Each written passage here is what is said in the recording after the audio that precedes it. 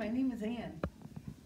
And my name is Georgianne, and we're with the Farmington Livonia Days for Girls organization, and I'm going to show you how to make a fabric and PUL transport bag. This allows the, s- the girls to carry a wet liner home from school. So you begin by cutting the fabric and the PUL eight inches by fifteen inches. It's most efficient if you cut the fifteen inches selvage to selvage with sixty inch wide PUL and then eight inches along the length. It makes for about sixteen bags per yard. The fabric that we use is a thin cotton fabric, um, perhaps too thin to use for any other purpose that you may have had donated. And it's great for this purpose because we have two layers and it is sturdy enough without um, being too thick for your machines. There's basically four stages. There's the initial stage of pinning. Then it's pinned and heat sealed to keep it waterproof. The ends are serged, then it's pinned again, the sides are serged, and then the final step is zigzagging the tails. Anne's gonna do the first step, which is assembling the PUL and fabric. The fabric goes right side down, and the PUL is shiny side up. And she's going to pin, uh, she's going to use wonder clips for each end. You can use paper clips, but don't use pins, as they might put a hole in the PUL, and then it would no longer be leak-proof.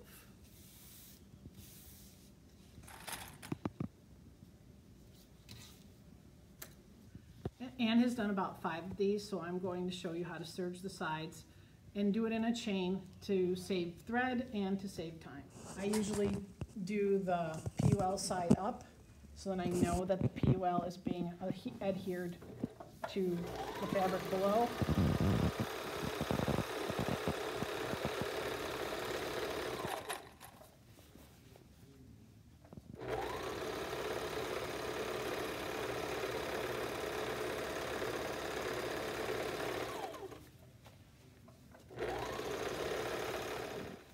And then you do the other side, same way.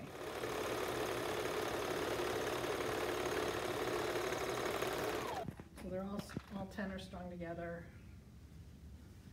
And now I'm gonna take them apart.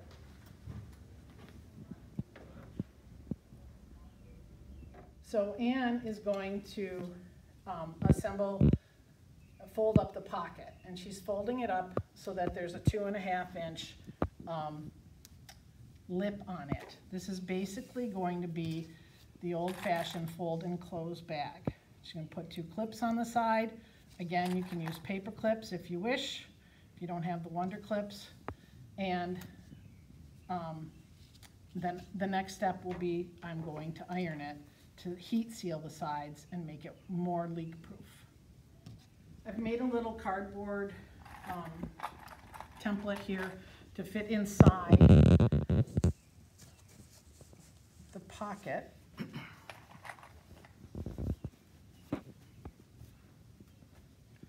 Take the clip off, nice wool setting on my iron. I'm pressing the edges and the corner.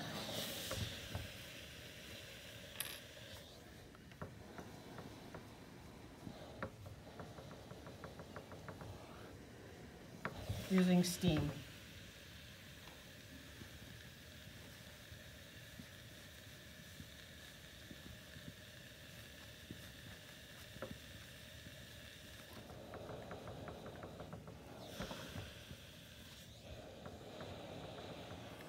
Careful not to get the iron up here on the PUL because it'll stick and melt.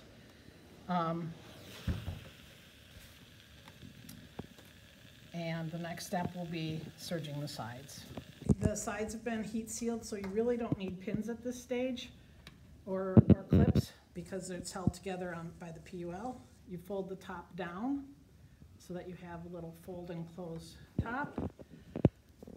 And you simply serge the sides. Again, you can, it's important that you chain it at this stage so that you have a tail but not a long tail.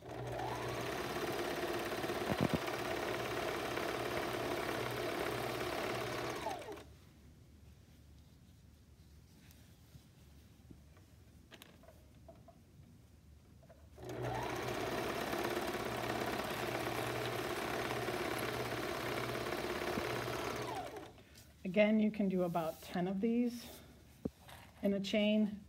After that, it gets a little ungainly. So I turn it over so that the back side is now, this allows you to keep the flap down while you serge the side.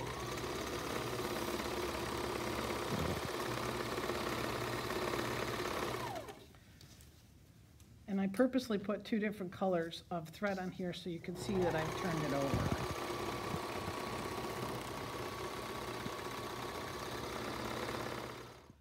I used two different colors of thread on the upper and lower looper so that you could see that I did one on the front side coming down, pushing the fold down. And then I turned it over so that I would still push the fold down as I serged the sides. At this point, you're going to cut them apart and you want to have about a half an inch to an inch of tail. And that's, and that's all. If it gets a little long, trim it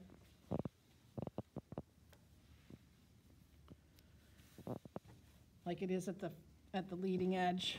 I'm, I'm going to trim it a little shorter. And Ann's going to glue the tails down so that I can zigzag them on a regular sewing machine and they won't flop up and it makes sewing them much faster. You do have to wait for the glue to dry in between. So it's good to have uh, a set kind of in motion already. But as you can see, I have these long strands that no longer need to be here. So I'm just trimming trimming them up.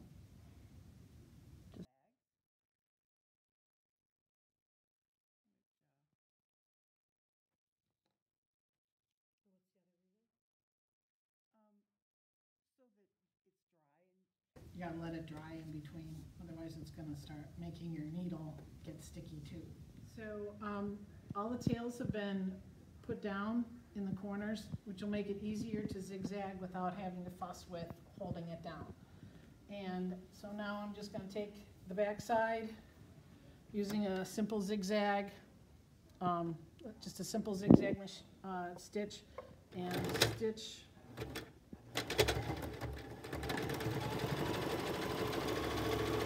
Again, here you're gonna wanna chain these together, so minimum amount of thread being consumed. I reverse at each step, at front and back.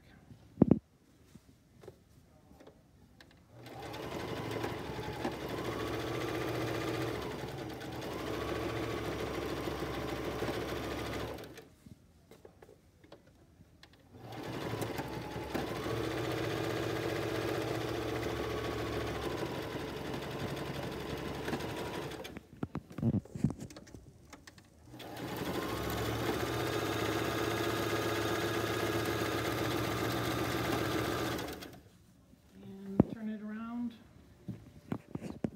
And do the other side.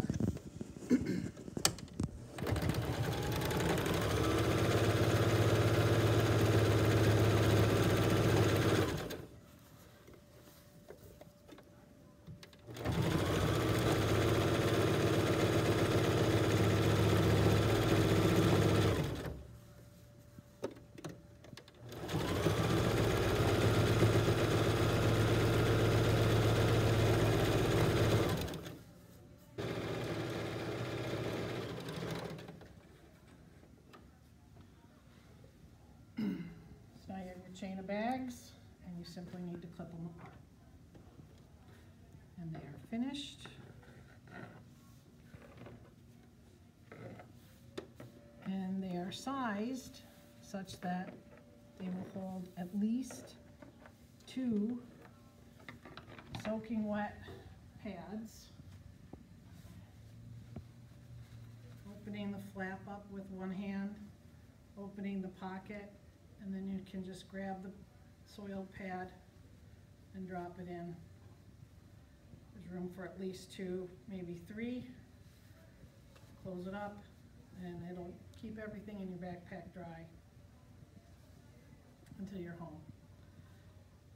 When you're home, you can put water in here, again, the same way, pull on the back, put some water in there, squish it around a little bit to start cleaning it, dump out the water, do it again, and, um, you can remove the soiled pads and wash them thoroughly. This is just for pre-rinsing.